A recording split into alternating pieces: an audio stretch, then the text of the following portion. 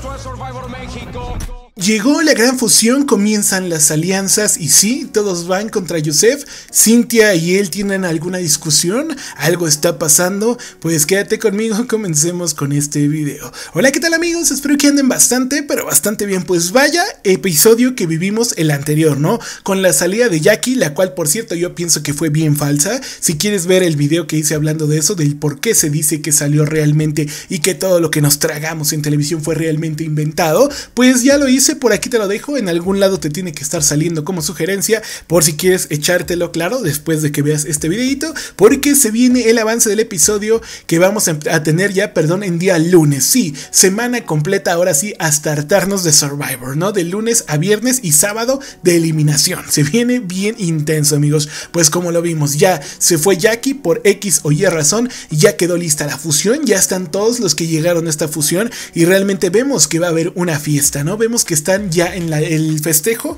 en la celebración de haber llegado prácticamente a lo que sería la etapa final en Survivor México. Vemos que llegan primero jaguares y los otros, eh, halcones, perdón, y los otros, y se ponen a hablar precisamente de los jaguares, ¿no? Donde inclusive Sadie dice, ay, ¿a poco los jaguares eh, están aquí también en fusión? Oye, discúlpame, pero pues tal vez se les olvidó que fueron los que ganaron primero su pase, ¿no? Pequeño detalle que se le olvidó recordar tanto a Sadie como a Kenta, porque vemos que la situación es clara. Con todo ese tema realmente de la salida de Jackie, lo que quedó bien en claro es que la fusión está bien establecida y que prácticamente no les importa a ellos que se vayan quedando entre ellos, que no vayan avanzando. El objetivo es claro, ir contra Yosef y tratar de frenarlo. Yo no sé de verdad por qué es tanta esta situación contra Yosef. Yo realmente no lo entiendo y hay mucha gente que no lo quiere y hay gente que lo apoya. Realmente yo lo que veo en televisión es que lo acaba de decir el propio Julián. No somos monedita de oro, ¿no? Para caerle bien a todos. Obviamente a algunos les vas a caer mal, a algunos les vas a caer bien,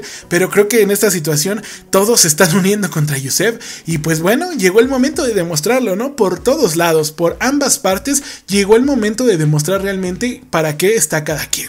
Pues si tenemos a un Kent hablando de eso, a una Sadie hablando de eso, realmente pues ya vemos que la fusión llegó. En este momento todos están de fiesta, todos están ahí unidos, dicen juntos pero no revueltos porque a final de cuentas va a seguir habiendo competencia por equipos, pero ahorita vamos a ese punto, ¿no? Realmente creo que cambian ya todos otra vez, ¿no? Es bien raro verlos bañados, verlos con otro tipo de ropa. La verdad es que después de tanto tiempo ya hemos visto las playeras rotas, los shorts rotos y ahora verlos de esta manera dice uno, wow, ¿no? Realmente qué bueno, les hacía mucha falta, sin importar pues el color o la tribu que apoyes, creo que realmente les hacía falta, coincidimos en eso a todos, tener este rato de relajación, este rato de fiesta, de distracción y sobre todo de buen alimento y de echar la fiesta porque se van a poner hasta el perreo bien intenso amigos, ¿eh? Pero bueno, dejando a un lado la fiesta, dejando a un lado esta situación, todo lo que se viene va a estar que no te lo puedes perder. Pues primero tendremos ese duelo de capitanes, algo que es común en Survivor, ¿eh? Hay que recordar también la temporada anterior,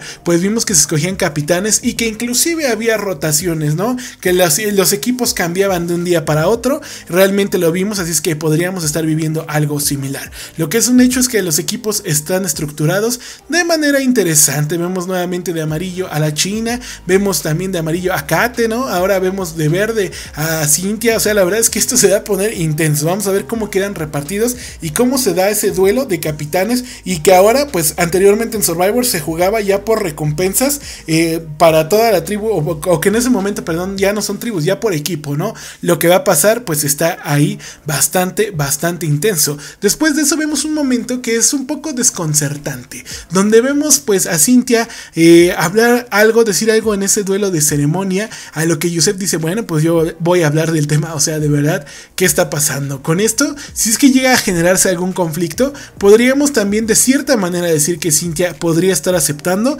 esa alianza que se está haciendo en contra de Yusef, porque el objetivo, lo vuelvo a repetir, es bastante claro, sacar al león libanés. La verdad yo sigo pensando que aquí es el momento donde vamos a tener toda esta situación. Mucho ojo, ya para cerrar el tema, ¿no? De lo que son las alianzas y de los capitanes y de las tribus, o sea, ya es cuestión de irlo sacando, vamos a, analizar más a fondo, quizás en otro video y ver cómo quedan las tribus, aunque ya no le veo mucho sentido, pues ya tenemos Survivor eh, toda la semana, así es que ahora sí ya hay bastante de qué entretenernos y va a haber bastante chisme. Lo que es un hecho también es que pues en algunas filtraciones eh, pues decían que, que Joseph ahí sigue todavía, así es que bueno, para que se nos tranquilicen todos. Y el tema de los juegos pues también por ahí en algún momento hay que ver cómo va, no ha habido spoilers hasta el momento, así que nos queda esperar y disfrutar qué es lo que pasa porque ya estos duelos de fusión sin duda alguna son para eso. Pero bueno amigos, ahora sí, los que llegaron hasta aquí pues vamos a echar el chisme, ¿no? Un ratito hablando de la situación de fusión. Lo que pasa en fusión, lo que ocurre en fusión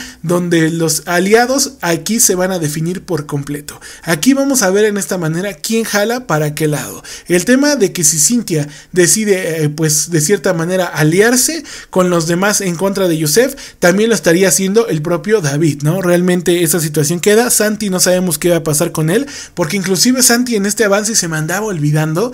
Vemos que Santi se lleva ahí un duro golpe en el hombro entrando a esa rastrera.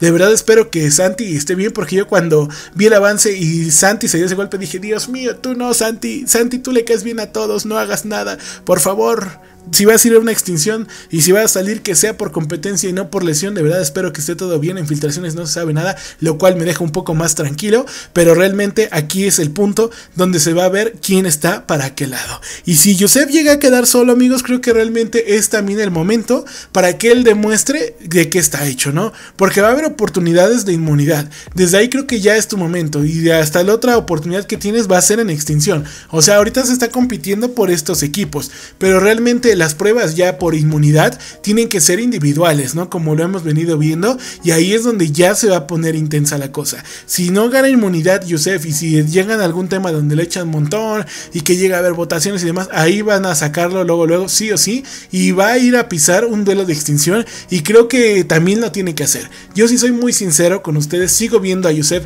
como uno de los favoritos y quizás el público estará dividido, pero inclusive yo en encuestas, en votaciones que he hecho aquí en el canal, sigue siendo Yusef o sigue siendo los jaguares, mucha gente que los apoyaba, era la tribu favorita de muchos. Ahora que simplemente llegó la fusión, pues vamos a ver qué onda, cómo le va a Yusef, yo lo sigo viendo fuerte, pero también lo veo que en su momento se escondió para ir a, extinciones. Yo veo a Yusef que sí tenía que levantar la mano desde antes, desde antes de la salida de Viri, donde él dijo que quería ir y demás.